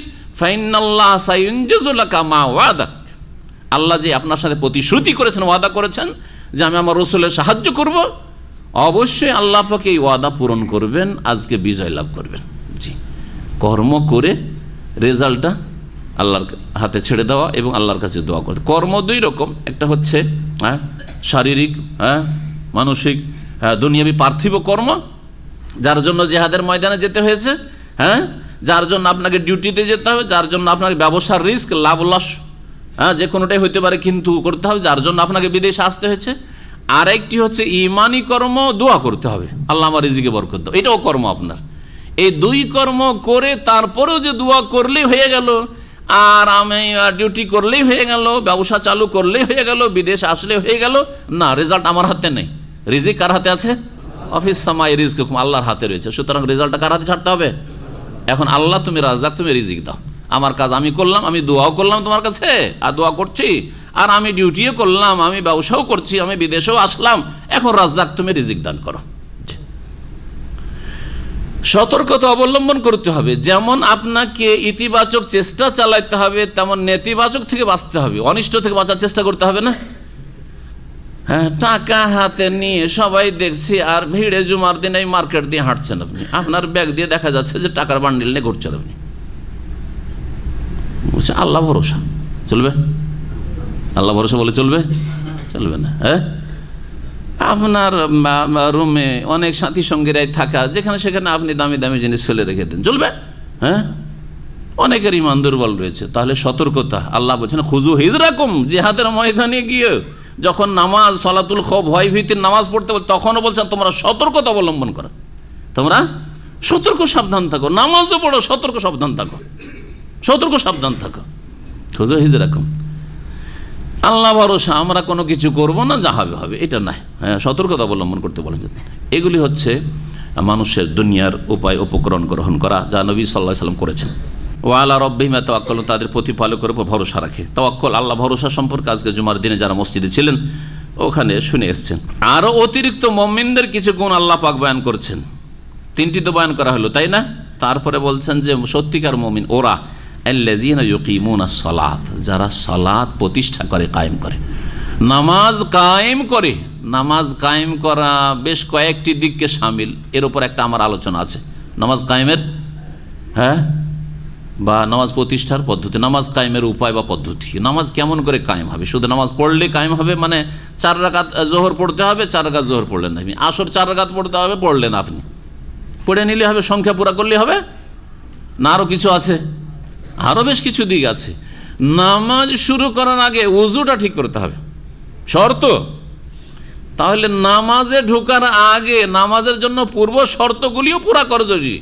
বিনা উজুতে চার রাকাত যদি আপনি এক ঘন্টাতে পড়েন, তো কবুল হবে? তাহলে নামাজ কায়েম করলেন না আপনি। হ্যাঁ? নামাজ কায়েম করলেন না। শরীরে কাপড়ে পেশাব ছিটছে, কোনো পরোয়াই নেই। আপনি ওই কাপড়ে নাপাক কাপড় নিয়ে নামাজ পড়লেন। হ্যাঁ? লম্বা নামাজ পড়লেন আপনি, লম্বা শেষ দেখো নামাজ কবুল হবে? হবে না নাপাক কাপড়ে নাপাক কাপড়ে নামাজ হবে না, তাই না? তাহলে শর্তগুলি পুরা করা। জি, বেশ কিছু যে শর্ত রয়েছে সরুতু সলা, নামাজের শর্তাবলী, সেগুলি আপনাকে তাহলে শিখতে হবে যে নামাজে ঢোকার আগে কি কি শর্ত রয়েছে। নামাজের ভিতরে রুকুন রয়েছে, কতটি? হ্যাঁ? চোদ্দটি, তাহলে এই চোদ্দটা পূরণ করতে হবে, নাহলে নামাজ হবে না। ওয়াজেব রয়েছে ওয়াজেবাত সলা রয়েছে, কয়টি? আটটি, সেগুলি পূরণ করতে হবে। শর্ত পুরা করতে হবে, রোকন পুরা করতে হবে অজেব পুরা করতে হবে। হ্যাঁ নামাজের বাইরে পূর্ব শর্তগুলি আর তার নামাজের ভিতরগুলি বললাম। তারপরে তখন সুন্নতগুলি আপনার নামাজকে সুসজ্জিত করবে। সোনানো নামাজের সন্ন্যতগুলি রফুল এদেন করে নামাজ পড়া তারপরে যে যে সন্ন্যতগুলি রয়েছে সন্নতি দোয়া বা জিকের ইত্যাদি, যেগুলি সন্ন্যত অজেবের ওপরে যেগুলো রয়েছে বাছনিক রয়েছে অথবা কর্মগত রয়েছে। এগুলি তো হইল। আর পুরুষদেরকে জামাতে মসজিদে পড়তে হবে, তাহলে নামাজ কায়েম হবে হ্যাঁ? টাইমে টাইমে যথাসময়ে নামাজের সময়ে নামাজ পড়তে হবে। সূর্য ওঠার পরে ভোজন নামাজ পড়ছেন। আর খুব লম্বা করে পড়ছেন আর চোখ দিয়ে পানি আসছে। কবুল হবে নাকি? এই নামাজ কবুল করবেন না। আপনার চোখের পানি যথেষ্ট নয়। আপনার নামাজ আল্লাহ বলছেন, কিতাবা মাউকুতা আমি ওক্তের ওপর লিখে দিয়েছি, ফরজ করেছি। সুতরাং ওই ওক্তি আদায় করতে হইতো তোমাকে। সূর্য ওঠার আগে ফজরের নামাজ গিয়ে মসজিদে পড়ে আসতে হবে তোমাকে। আপনি যেমন দেশে নামাজ দেখেছেন ওই রকমই পড়ছেন রসুল্লাহ সাহেব নামাজের সাথে মিলিয়ে দেখলেন না, আপনার নামাজের মিল আছে কি না তো নামাজ কায়েম হবে নাকি? নামাজ কায়েম হবে না। সাল্লুক আমার আয়তমনি ও সাল্লি যেমন আমাকে নামাজ পড়তে দেখলে ওইরকম নামাজ পড়ো তাহলে। এই হচ্ছে নামাজ কায়েম করা, চারিদিক থেকে মিলিয়ে নামাজ কায়েম করতে আপনাকে। সব দিক থেকে আপনাকে নামাজ কায়েম করতে হবে। তো মমিনরা নামাজ কায়েম করে। নামাজ যখন পড়েন, সহি সন্নতি তরিকায় পড়েন, আর সহি তরিকাতেই পড়েন, যখন পড়েন, কিন্তু চার রক্ত পড়েন, ফজর পড়েন না। মাঝে মাঝে ফজর চলে যায়। নামাজে ঘাটতি আছে। তা নামাজ কায়েম করলেন? না, নামাজ কায়েম, আপনি নামাজই না। তা মোমিনরা নামাজ কায়েম করে। নামাজের কোনো দিকে বক্রতা নেই। কায়েম মানে সোজা। এটা দাঁড়িয়ে আছে। এটা হচ্ছে বাঁকা, এটা বাঁকা। তাহলে নামাজে যেন কোনো বক্রতা না থাকে, কোনো দিক থেকে। কোনো দিক থেকে বক্রতা না থাকে। তাহলে নামাজ কায়েম হলো না আপনার। অমিম্মা রাজাক নাহমিন ফেকুন আর যা আমি তাদেরকে উপজীবিকা হিসাবে দিয়েছি, তা থেকে তারা ব্যয় করে। এই ব্যয় করার একটি তাফসির হচ্ছে জাকাত প্রদান করে। হ্যাঁ? দান খৈরাত করা জাকাত ফরজ। আর ফরজের অতিরিক্ত যখন প্রয়োজন হয়, সাদকা দান খৈরাতও করে। একটা অর্থ। দ্বিতীয় অর্থ হচ্ছে যে ব্যয় করা মানে জাকাত নয়, গরিব দুঃখীদের জন্য নয়। বরং আপনার ওপর যে ব্যয় বহন ফরজ করা হয়েছে, তা আপনি করবেন। যদি তা না করেন, তো অব্যাহতি পাবেন না। আপনাকে ধন সম্পদ দেওয়া হয়েছে, আপনি কুক্ষিগত করে রাখছেন, বাপ খেতে পায় না, মা খেতে পায় না। চলবে? হ্যাঁ? আপনার আপন বোন বিধবা তালাক প্রাপ্তা খেতে পায় না আপনি আপনার কক্ষিগত করে পয়সা ব্যাংক ব্যালেন্স বাড়াচ্ছেন আপনি চলবে? মমিন হইতে পারেন না এখন।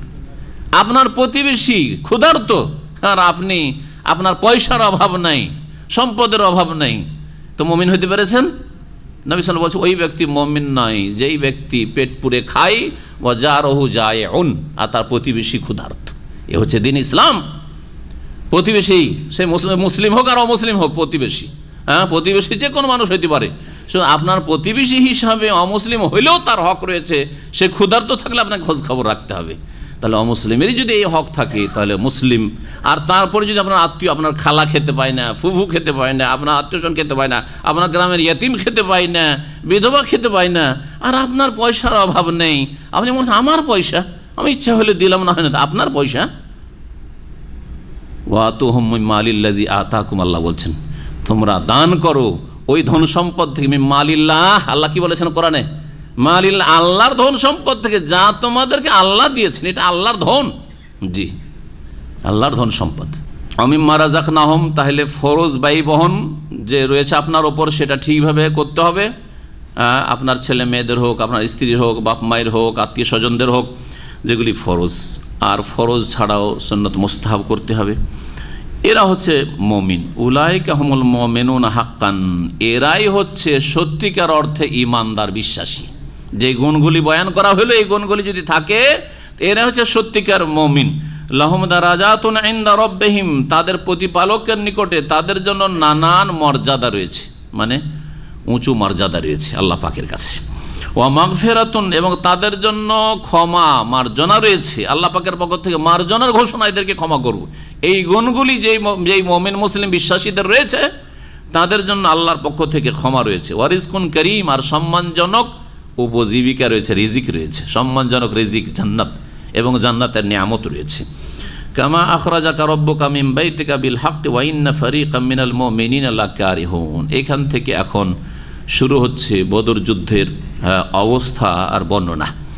বদর যুদ্ধের প্রেক্ষাপট, কীভাবে এ বদর যুদ্ধ সংগঠিত হইল? প্রথম নবী সাল্লা সাহাবারা কেউ কল্পনা করেনি যে আমাদের যুদ্ধের মুখোমুখি হইতে হবে। কাফেরদের মোকাবেলা করতে হবে। তাদের উদ্দেশ্য কি ছিল? যে মক্কায় আমাদের ধন সম্পদ, বাড়ি, ঘর সব থেকে গেছে। ওগুলো দখল করে আছে কারা? মক্কার কাফেররা। তারপরে অনেকে হিজরত করে আসার সময় কিছু মাল সামান নিয়ে আসার চেষ্টা করছিল, তা কেড়ে নিয়েছে, লুটপাট করে নিয়েছে। লুটপাটও তারা করেছে। কিছু নিয়ে আসতে পারি খালি হাতে মহাজরিনরা মক্কা থেকে মদিনায় পৌঁছেছে। নবী করিম সাল্লাম জানতে পারলেন যে আবু সুফিয়ান রদি আল্লাহ পরে ইসলাম গ্রহণ করেছেন, তখন কিন্তু কুফরি অবস্থায় ছিলেন। এই আবু সুফিয়ান রদি আল্লাহ আনহু রসুল্লাহ সাল্লামের স্ত্রী, কোন স্ত্রীর? কোন স্ত্রীর বাপ? ওম্মে হাবিব রাজি আল্লাহ ওনার পিতা। ওম্মে হাবিব আগে ইসলাম কবুল করেছিলেন, কিন্তু আবু আবু সুফিয়ান বিলম্বে তারপরে লেটে ইসলাম কবুল করেছেন তা আবু সুফিয়ানের নেতৃত্বে বাণিজ্য কাফেলা মাল সামান ব্যবসা বাণিজ্য করে নিয়ে সামদেশ থেকে শাম বলতে তখনকার প্যালেস্টাইন তারপরে বর্তমান সিরিয়া, জর্ডন সবকে সামিল। ওই দেশে ব্যবসা বাণিজ্যের জন্য ছয় মাস ওইদিকে যেত ওরা, আরবরা, আর ছয় মাস ইয়ামানের দিকে যেত। রেহেলাতা শীতায় ও সাহেব শীতকালে শীত পড়ে বেশি। হ্যাঁ কোন দিকে? উত্তর দিকে না দক্ষিণ দিকে? হ্যাঁ উত্তর দিকে মানে সামদেশে এখন এখন কত প্রচণ্ড শীত বড় তো সেই জন্য গ্রীষ্মকালে তারা সফর করতো, মক্কার লোকেরা সফর করতো ব্যবসা বাণিজ্যের জন্য। সামদেশের দিকে, প্যালেস্টাইনের দিকে আর শীতকালে ইয়ামানের দিকে সফর করত, যেহেতু ওখানে গরম এলাকা। তো শীতকালে তখন সফর করতো। এইভাবে তখন ইয়ামান থেকে আবার তখন ভারতে ওখান থেকে এখানকার মাল সামানগুলি এভাবে যেত। যথেষ্ট মাল সামান নিয়ে আসছেন আবু সফিয়ানের নেতৃত্বে এই বাণিজ্য কাফেলা নবী সাল্লা সাল্লাম জানতে পেরে বললেন যে কাজ করো, চলো। গিয়ে আমরা প্রতিশোধ নিই। আমাদের ধন সম্পদ বা তোমাদের ধন সম্পদ তারা লুটে রেখে দিয়েছে বা তারা ভোগ করছে তাদেরগুলি আমরা ক্ষতিপূরণ। আর তারপর আল্লাহ ফাকর রব্বুল আলমিনের পক্ষ থেকে নির্দেশ যে আর্থিক দিক থেকে তাদের ওপর একটা মার পড়ার প্রয়োজন। হ্যাঁ কারণ কাফের অর্থ নিয়ে মরে, পয়সা নিয়ে মরে। সুতরাং এখানে যদি একটা মার পড়ে, তাহলে এতে বড় একটা আঘাত লাগবে কাফেরদের ওপর। নবী করিম সাল্লাম এই উদ্দেশ্যে বেরিয়ে পড়লেন। যখন এদিকে বেরিয়ে পড়েছেন, ওইদিকে আবু সুফিয়ান খুব চতুর মানুষ ছিল, খুব চালাক মানুষ। আবু সুফিয়ান আগেই তার গোয়েন্দা দিয়ে জানতে পেরেছে। হ্যাঁ ওরা ওরা ওই যুগে গোয়েন্দা থাকতো ঘোরাঘুরি করছে। দ্রুত গিয়ে খবর দিচ্ছে যে, তাড়াতাড়ি তুমি অন্য রাস্তা ধরো, যেটা প্রসিদ্ধ প্রচলিত রাস্তা এই সামদেশ থেকে মক্কার দিকে যাওয়ার সেই রাস্তা ত্যাগ করো। ওই লোহিত সাগরের কেনারা কেনা অন্য রাস্তা দিয়ে একেবারে এগিয়ে চলে গেল। যা হোক বাণিজ্য কাফেলা হাত ছাড়া হয়ে গেল। যেটা সহজভাবে হাসিল করতে চেয়েছে রসুল্লাহ আসলাম সাহাবাইকেরামরা ওইদিকে আরেকজনকে পাঠিয়ে দিয়েছে, দুধকে তাড়াতাড়ি আবু সুফান পাঠিয়ে দিয়েছে মক্কায়, আবু জাহালের কাছে। আবু জাহাল আবু জাহাল নেতা বসে আছে ওইখানে হ্যাঁ মক্কাই তাড়াতাড়ি করে তুমি ওখান থেকে আমাদের সাহায্যের জন্য, আমাদেরকে রক্ষা করার জন্য সেনাবাহিনী পাঠাও, নাহলে মোহাম্মদের সেনাবাহিনী এসে আমাদের সব কিছু লুটপাট করে নিয়ে যাবে। ওই দিক থেকে আবু জাহাল নিজেই এক হাজার লোক নিয়ে এসে কাছিয়ে চলে এসছে। নবী করিম সাল্লাহ সাল্লামের হাত ছাড়া হয়ে গেল সাহাবাগান হাত ছাড়া কি হয়ে গেল? বাণিজ্য কাফেলা। সামনে এগিয়ে চলে আসছে আবু জাহাল অহংকারের সাথে, এই উম্মতের ফেরাউন, নবী সাল্লামকে বলেছেন। এই ফেরাউন এগিয়ে চলে আসছে। এখন নবী সাল্লাম যদি মদিনা ফিরে চলে আসেন যাক যেই গরজ এসেছিলাম, হইল না, তো চলে যাই। তাহলে দাপট বেড়ে যাবে কি না কাফেরদের? সাহস বাড়বে না? সাহস বেড়ে যেতে পারে। নবী করিম সাহাবাই কেরামদের সাথে পরামর্শ করলেন। এখানে মতবিরোধ শুরু হলো। কেউ কেউ বলল যে, না, আমরা তো কোনো প্রস্তুতি নিয়ে আসিনি। মোনাফেক ছিল না। সবগুলি মমিন, তিনশো তেরো জন। কিন্তু তারা চিন্তা করছে, আমরা তো জেহাদের জন্য কোনো প্রস্তুতি নিইনি। না আমাদের কাছে কোনো বাহন আছে ঘোড়া আছে, না আমাদের কাছে অস্ত্র আছে। অস্ত্র তেমন কিছু নিয়ে আসেনি। কি দিয়ে আমরা জেহাদ করব, লড়াই করে জেহাদের জন্য কিছু লাগবে তো? সাজ সরঞ্জাম কিচ্ছু নেই। তো জেহাদ না করে আমরা ফিরে যাই না। আর ওইদিকে কাফেরদের এক হাজার কাছে চলে আসছে। নবী সাল্লাহ সাল্লামের সাহাবাইকের আমরা পরামর্শ দিলেন, আবু বকর ওমর তারা পরামর্শ দিলেন যে, না, জেহাদ করা যাক। জেহাদ করা যাক। মেঘদাজ বিন আসওয়াদ রাজি আল্লাহ তালা বললেন যে রাসুল আল্লাহ আমরা ওই রকম বলব না, যেমন বেয়াদবি করেছিল আর যেমন খুব খারাপ কথা বলেছিল বনি ইসরায়েলরা মুসা আলি সাল্লামকে মুসা আলি সাল্লামের সাথে কি বিয়াদবি করেছিল? যেমন আল্লাহ পাক এদিকে ফেরানোর কবল থেকে রক্ষা করলেন আর তারপরে বললেন যে জালেম শাসক আর জালেম শাসকের সেনাবাহিনী রয়েছে, এদের বিরুদ্ধে চলো, তোমাদেরকে আর যে মোকাদ্দাসে প্যালিস্টাইনে ঢুকতে হবে আর তোমাদেরকে জেহাদ করতে তখন বলেছিল যে ইজহাব আন্তা ওয়া রব্বুকা ফাঁকা, তেলা ইন্না হা হোনা কায়দুন আমরা পারব না এইসব কাজ করতে। হে মুসা, আপনি যান আর আপনার আল্লাহ, আপনার রব যাক আর গিয়ে ফাঁকা তেলা আপনারা লড়াই করেন। ইন্না হা হোনা কায়েদুন, আমরা এখানে বসে থাকছি। যখন আপনারা জিতবেন দেখব যে হ্যাঁ কাফেররা দমন হয়ে গেছে।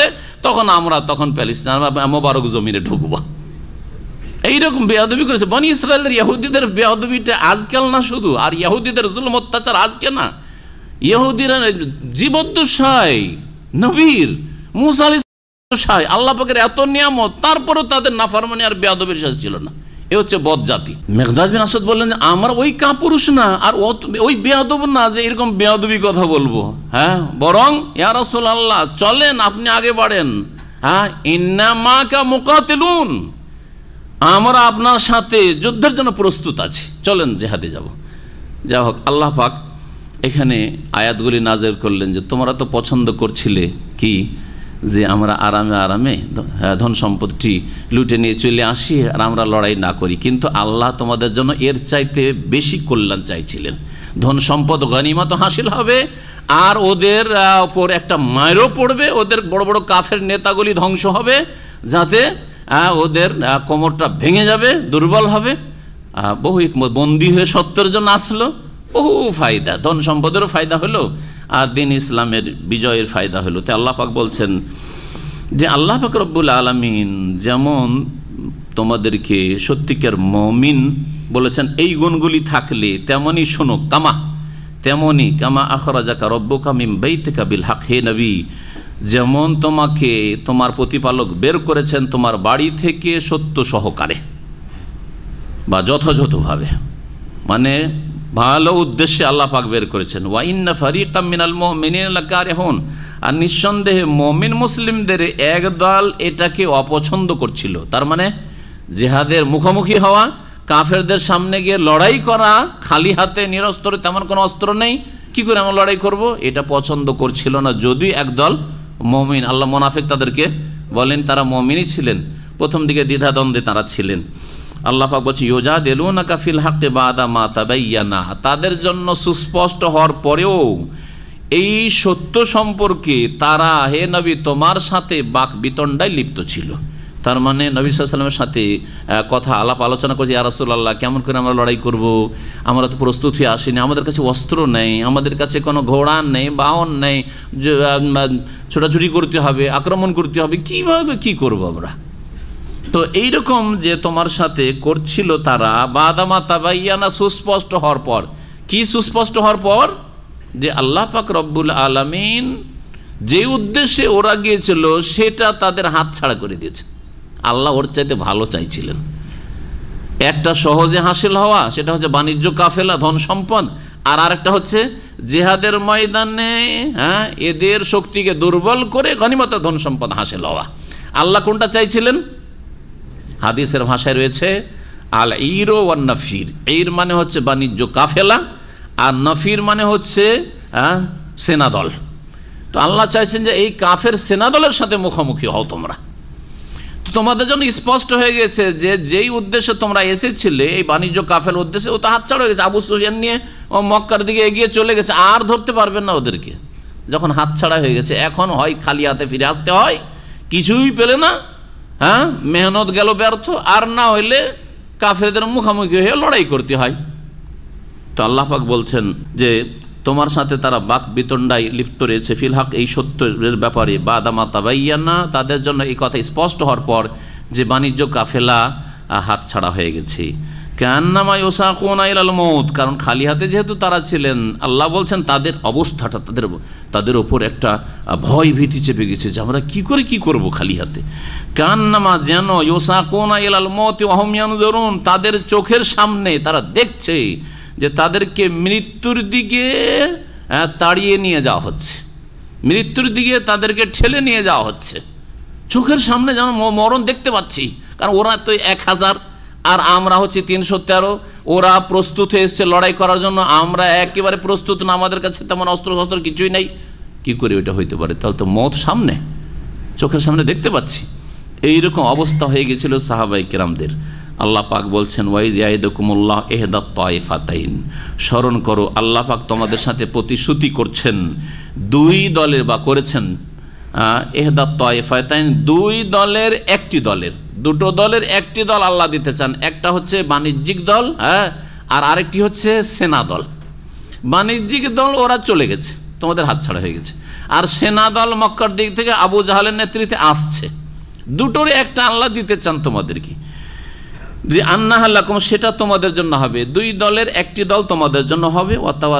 আন্না শৌকাতে আর তোমরা পছন্দ করছিলে, তাওয়াদ্দুনা অদ্দা ইয়াওয়াদ্দ মানে হচ্ছে পছন্দ করা, ভালোবাসা।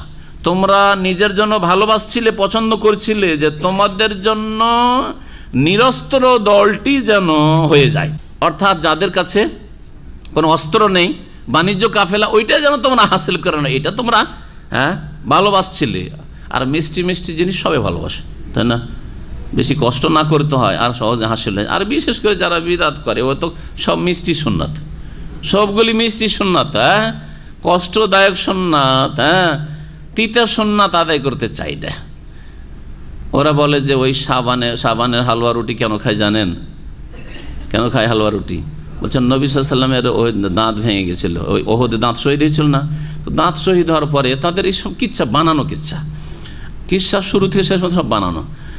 তারপরে দাঁত ভেঙে যে নবী সালাম কিছুই খেতে পারতেন না, তো হালুয়া খেয়েছিলেন। কি খেয়েছিলেন? হালুয়া খেয়েছিলেন। তো নবী সালাম যেহেতু হালুয়া খেয়েছেন সেই জন্য আমরাও সাবান মাসে কি করি? হ্যাঁ শয়ে বরাতে হালুয়া খাই। হালুয়া খাই। স্যার, এটা হচ্ছে মিষ্টি সুন্নত ধরলাম যে সুন্নত। এক প্রথম কথা, কিচ্ছাই সব একবারে বানানো। সাবান মাসে ওহর যুদ্ধ হয়নি। ওহর যুদ্ধ সাবানে হয়। সকালে হয়েছে ঠিক না? হ্যাঁ তাহলে দেখেন, দুই মাস আগে হালুয়া খেয়ে বসে আছে। দুই মাস আগে হালুয়া খেয়ে বসে আছে বিদ্যার্থীরা হ্যাঁ? অথবা দশ মাস পরে। তো যদি এই সন্ন্যত করতেই হয়, ধরে নিলাম তাদের কথায়, তো তার আগে তিতা সন্ন্যতটা আদায় করেন। সেটা কি? দাঁতগুলো ভাঙেন। দাঁতগুলো ভাঙেন। জি। আল্লাহ ফাকরাবুল আলমিন বলছেন যে তোমরা কি চাইছিলে? অতাবাদ্য না তোমরা পছন্দ করছিলে? আন্না গায়ের আজাতি শৌকাতে কোন লকুম, যে তোমাদের জন্য যেন নিরস্ত্র দলটি হয়ে যায়। অর্থাৎ বাণিজ্য, কাফেলাটি তোমরা যেন হস্তগত করতে পারো। ওয়রিদুল্লাহ হাক্কাবি কালিমাতি আর আল্লাহ পাক চাইছিলেন যে সত্যকে তার বাণী দ্বারা সুপ্রতিষ্ঠিত করবেন। সত্যকে, দিন ইসলামকে শক্তিশালী করতে চান এই বদরের মাধ্যমে। ওয়াক্তা দাবের আল কাফির আর কাফেরদের শেকড়কে কেটে দিতে চান। কাতা একটা মানে কেটে দেওয়া। আর দাবের বলা হয় পেছন দিককে, দাবের দবর থেকে। তো লেজ, পেছন দিকে লেজ থাকে, তো এখানে এই জন্য শেকড়ের অর্থ করলাম, ভাব অর্থ। কাফেরদের শেকড়কে কেটে দিতে চান। কাফেরদের শেকড় ছিল এই বড় বড় নেতাগুলি, যেগুলি বদরে ধ্বংস হয়েছিল। আবু জাহাল অথবা সাইবা, রবিয়া, জি, ওয়ালিদ বিন অথবা এরা সব বড় বড় বীর পুরুষ ছিল, সব বীর পুরুষগুলো বেরিয়ে এসেছিল তাদের ধন সম্পদ রক্ষা করার জন্য। সবগুলি গেছে। লিহিকাল হাক্কা যাতে আল্লাহ পাক সত্যকে প্রতিষ্ঠিত করেন ওয়ুবতেল আল বাতেল, আর মিথ্যাকে আল্লাহ পাক রব্বুল আলম নির্মূল করেন বা নিশ্চিন্ন করেন ওয়ালাউকারি হাল মুজরিমুন, যদিও অপরাধীরা তা পছন্দ করে না। আর মক্কার লোকেরা, মক্কার কাফের মুশ্রিকের অপরাধী ছিল, মুজরিম ছিল তারা এটা কখনো পছন্দ করবে না, চাইবে না। কিন্তু আল্লাহ পাক চান যে তাদেরকে নির্মূল করবেন হ্যাঁ তাদেরকে শাস্তি দেবেন আর তোমাদেরকে আল্লাহ পাক বিজয়ী করবেন। নবী করিম সাল্লাহ আলী সাল্লাম বদরের প্রান্তে পৌঁছে গেলেন। ওইদিকে কাফের রায় প্রথম দিকে পৌঁছে গেছিল বদরে এসে, আর এসে যে এলাকায় পানি ছিল, পর্যাপ্ত পরিমাণে পানিগুলি সব দখল করে নিয়েছিল। পানি তাদের দখলে কাফেদের দখলে। মুসলিমরা এমন জায়গায় গিয়ে অবস্থান করলেন, সেখানে পানির কোনো ব্যবস্থা নেই। এই এক আর এক সংকট, পরীক্ষার ওপর পরীক্ষা। খালি হাতে মুখোমুখি কাফেরদের হ্যাঁ আর পানির ব্যবস্থা নেই। আল্লাহ ফকরবুল নিয়ামত দেখেন, নবী সাল্লাহ ইসলাম দোয়া করতে শুরু করলেন সাহাবাই কেরামরা এক এক জায়গায় এক এক সাহাবি দোয়া করা শুরু করলেন। আল্লাহ পাক ওই চিত্র তুলে ধরেছেন এই তাস্তাকি সোনা রব্বাকুম, স্মরণ করো, যখন তোমরা তোমাদের প্রতিপালকের কাছে, রবের কাছে সকাতরে ফরিয়াদ করছিলে, যাচ্চা করছিলে, দোয়া করছিলে, আল্লাহর কাছে ইস্তেগাসা। ইস্তেগাসা মানে এক হচ্ছে দুয়া। দুয়া হচ্ছে সাধারণ অর্থে দুয়া মানে আল্লাহকে ডাকা, আহ্বান করা। ঠিক আছে?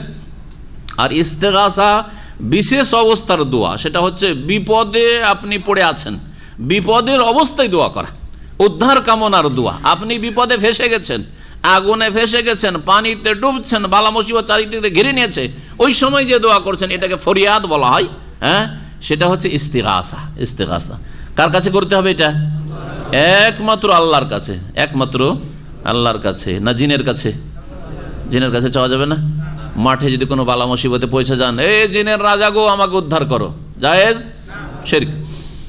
তো জিনের কাছে যদি না কাছে এ বড় পীর, আমাকে উদ্ধার করো। করা যাবে? হ্যাঁ? আমাদের তিনশো কত কতজন আউলিয়া? তিনশো ষাট জন আউলিয়া? হ্যাঁ?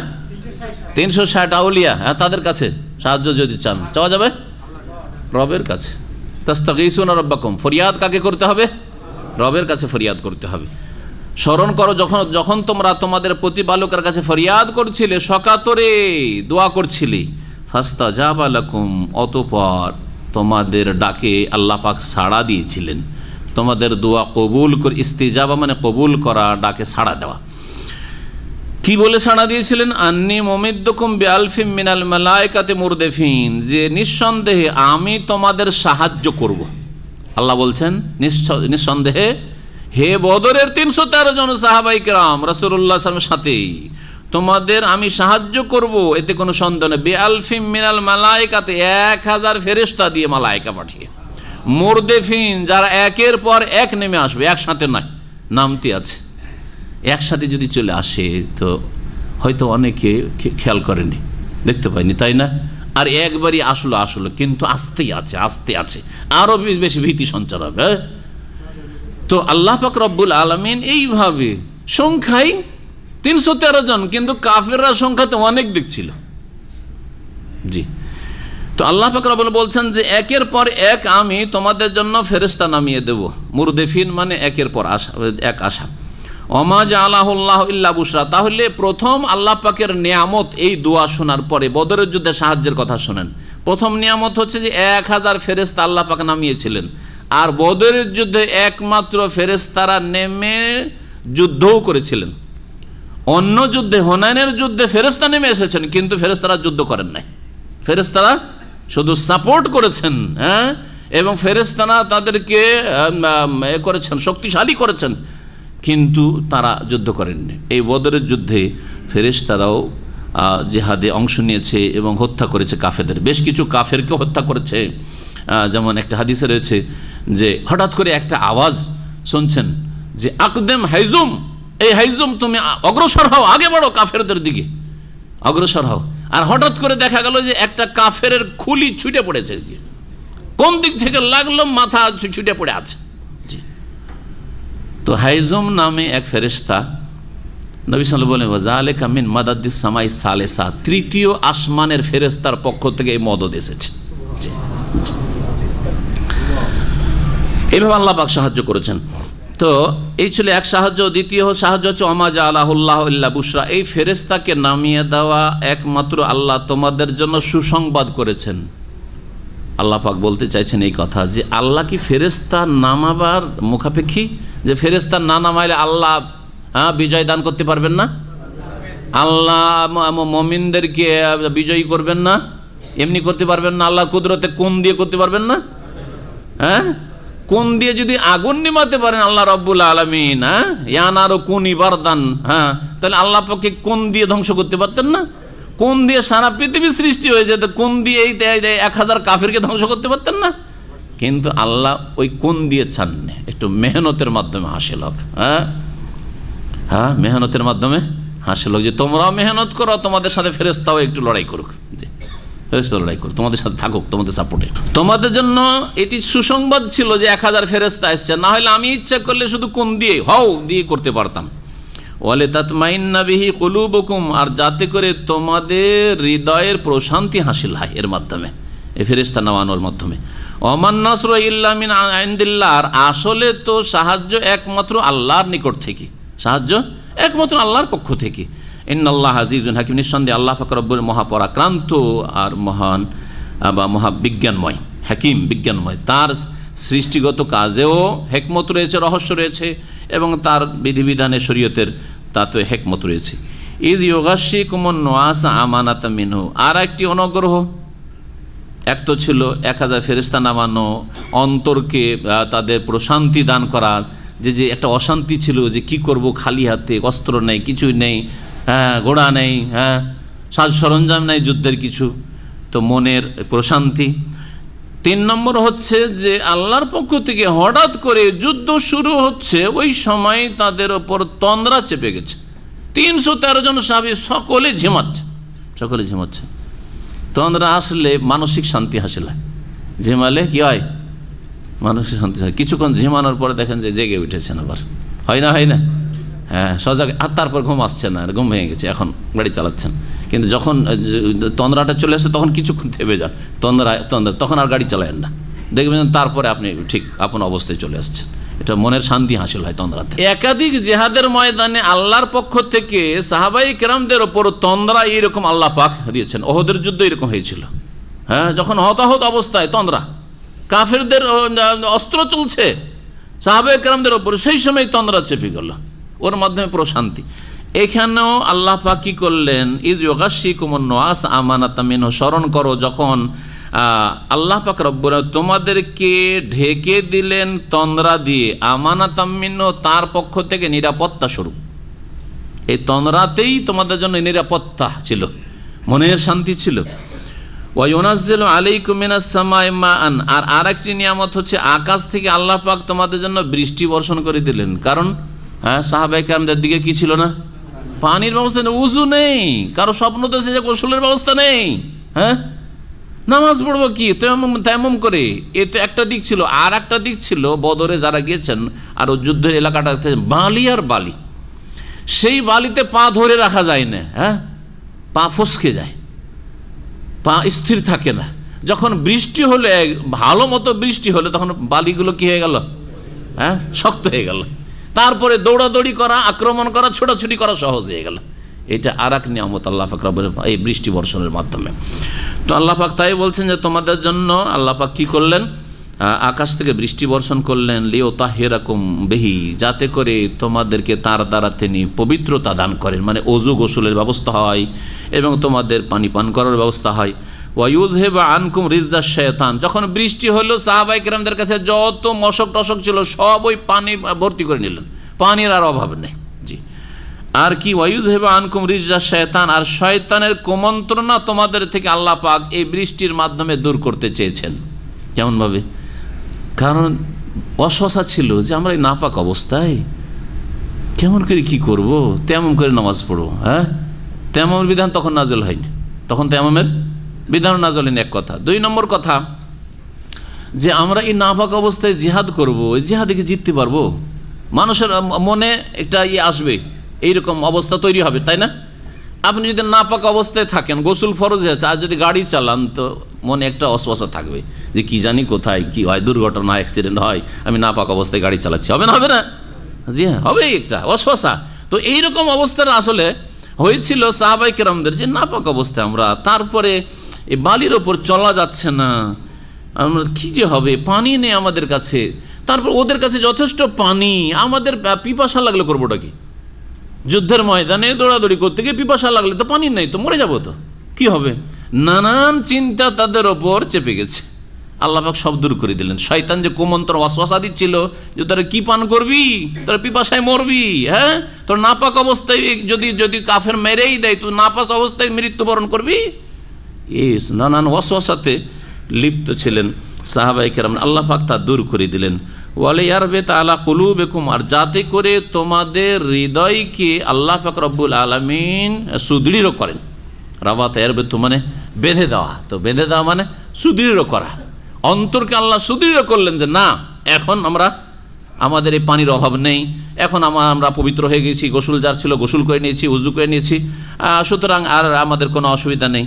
ওয়সাব্বিতা আকদাম, এবং এই বৃষ্টির মাধ্যমে তোমাদের পাগুলিকে সুদৃঢ় করতে চান বা সুপ্রতিষ্ঠিত করতে চান। যাতে করে চলতে, দৌড় দিতে এই বালি মরুভূমিতে অসুবিধা না হয়। এটাও হয়ে গেল এই বৃষ্টির মাধ্যমে।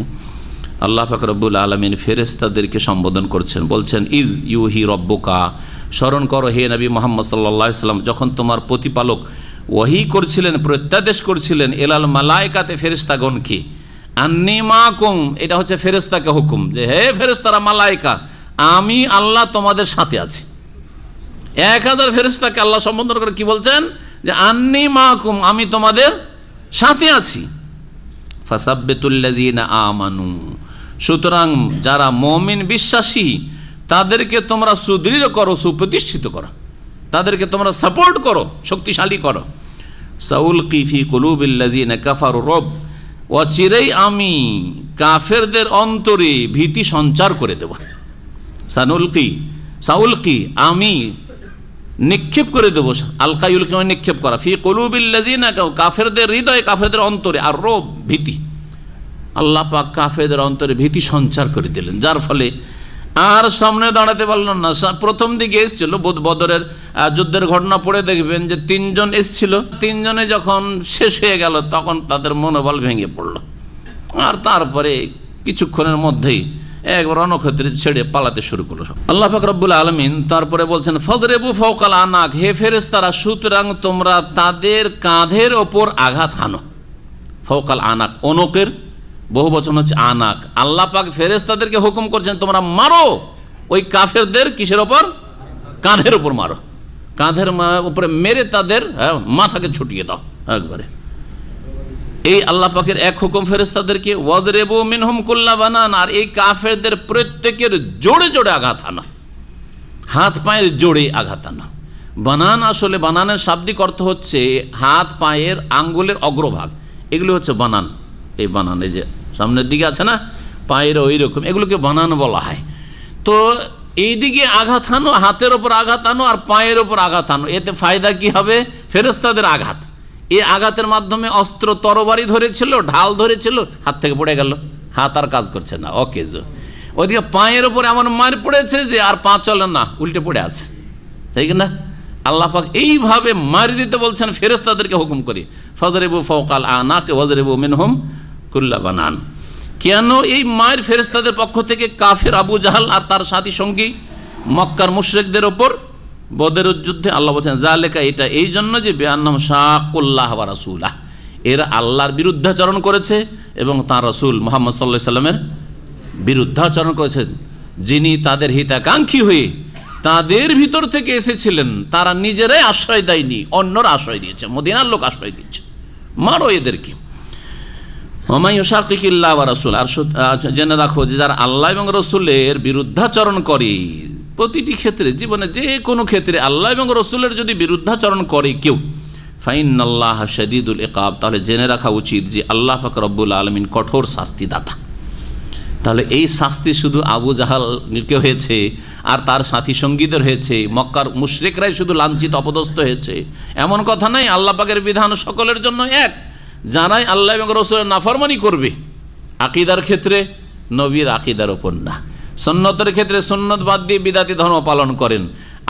বিরুদ্ধাচরণ করেন, ফরজ, অজেবে ঘাটতি করি। আল্লাহ পাকে নাফরমানি করেন হ্যাঁ শুধু দু চারটা কাজ ইসলামের করেই মনে করেন যে আমি মুসলিম আর আপনার পারিবারিক ক্ষেত্রে ইসলাম নেই, বিবাহ সাদিতে ইসলাম নেই, আপনার অর্থনীতিতে ইসলাম নেই, আপনার রাষ্ট্রনীতিতে ইসলাম নেই ইসলাম নেই। সুতরাং তার নামাজ পড়লেও, আর সকাল সুরাত ইসলামিক থাকলেও, ওই দিকে কবর মাজার পূজার ধর্ম হচ্ছে তা তোমাদের ধর্ম।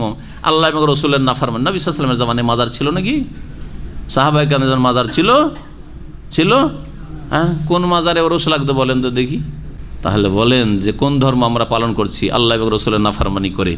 যারাই আল্লাহ এবং রসুলের নাফারমানি করে ফাইন আল্লাহ শদীদুল একাম তাদের জেনে রাখা উচিত আল্লাহ পা কঠোর শাস্তিদাতা।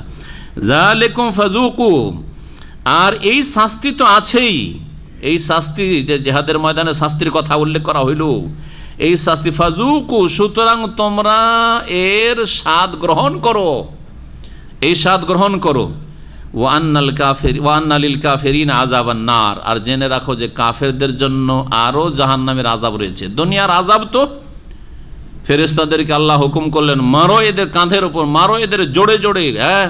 আর যেখানে হাড়ের জোর রয়েছে, মারো। আর এদেরকে অচল অকেজো করে দাও।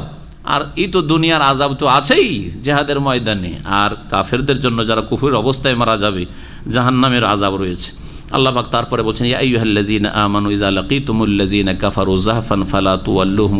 হে মুমিনরা, যখন তোমরা কাফেরদের মুখামুখি হবে রণক্ষেত্রে জাহফান লড়াইয়ের উদ্দেশ্যে, সশস্ত্র সেনা দলের তোমরা যখন মুখামুখি হবে ফালা তুয়াল্লুহুমুল আদবার, তখন তাদেরকে পৃষ্ঠদেশ ফিরিয়ে দিয়ে পালায়ন করিও না। পিঠ দেখে পালায়ন করিয়ে না। যখন জেহাদের ময়দানের মুখোমুখি হয়ে গেছেন, তখন আর পালায়ন করা যাবে না, কাবিরা গুনাইটি পেন মাহমুদ রসুর রসুল্লাহ একটি হাদিস রয়েছে যে লাতা মান্না কাল আদুবে তোমরা কখনো শত্রুর মুখ আফিয়া, সব সময় নিরাপদ থাকা আল্লাহর কাছে কামনা করিও। কিন্তু ফাইজা লাকি তোমোহম যদি এইরকম মুখামুখি হয়ে যাও, ফাসবতু, তাহলে তখন সুদৃঢ় থাকো তখন আর পিসপা হওয়া যাবে না, তখন পিসপা হরাম। নবী করিম সাল্লাম একটি প্রসিদ্ধ হাদিস রয়েছে, জানা আছে, ইজতান এবুসাবাল মৌবেকাত সাতটি ধ্বংসকারী পাপ থেকে তোমরা বেঁচে থাকো। আছে অনেকের মুখস্থ আছে হয়তো, বা অর্থ তো মুখস্থ, সাতটি ধ্বংসকারী সবচেয়ে বড় পাপ। প্রথম হচ্ছে তার মধ্যে আর শির্ক তারপরে আসেহেরও জাদু বলেছেন। এই করে শেষখানে বলেছেন ওয়াত্তাওয়াল্লি জাহাফে হ্যাঁ? কাফেদের সামনে কাফেদের সেনা দলের সামনে মুখোমুখি হয়েছেন। ওই সময় পিঠ ফিরিয়ে পালায়ন করা। এটা হচ্ছে ধ্বংসকারী গুণা তো আল্লাহ পাক ওই নির্দেশ এখানে দিয়েছেন। ওই হাদিস দিয়ে এ আয়াতের তফসির করা যেতে পারে। ইয়া আইয়ুহাল্লাযীন আমানু, হে মুমিনরা, হে বিশ্বাসীরা, ইযা লাকিতুমুল্লাযীনা কাফারু জাহফান যখন তোমরা কাফেরদের সেনা দলের সাথে মুখোমুখি হবে, লড়াইয়ে ফালাতু আল্লাহুমুল আদবার, তখন পিঠ পৃষ্ঠ দেশ দেখিয়ে পালায়ন করিও না। পিঠ ফিরিয়ে পালায়ন করিও না।